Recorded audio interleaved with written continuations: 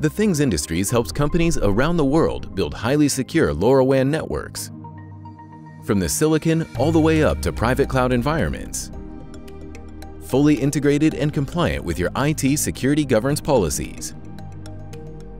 This video explains the process of how you as a device maker or device owner can adopt this security solution. To securely connect devices to a LoRaWAN network, each device needs a root key. This key has to be provisioned in the device either at production, before distribution, or during installation.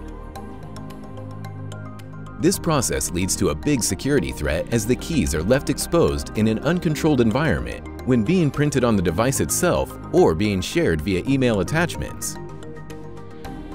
We created a product and a service which delivers a secure key provisioning process using a secure element. No matter what LoRaWAN network or LoRaWAN network operator, this secure element is interoperable with any network in the world.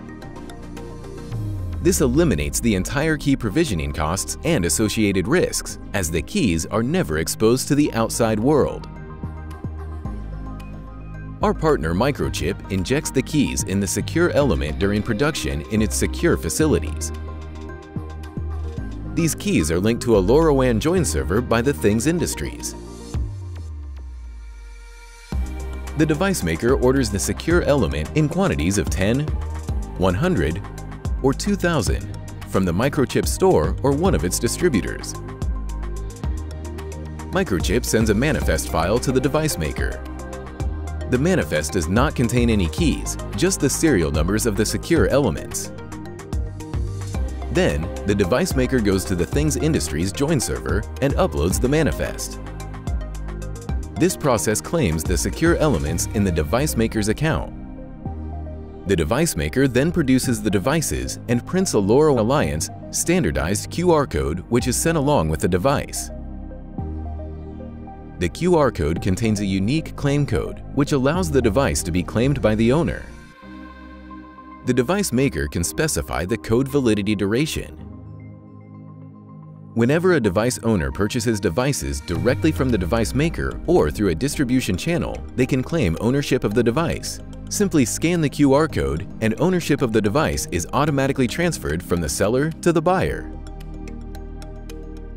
The device maker now gets a notification that the device has been claimed, and the owner can configure which LoRaWAN network server the device should send its data to. This solution supports any LoRaWAN network which implements the standard interfaces, when the device owner wants to transfer ownership to someone else, they can simply make the claim code valid again. Just like the first owner claimed the device, a new owner can now claim the device using the very same QR code. Optionally, you specify a new code and a new QR code.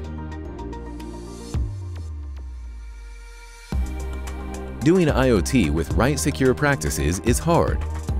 With this solution, you get the highest level of LoRaWAN security, ease of integration, interoperability with any LoRaWAN network in the world, and zero vendor lock-in.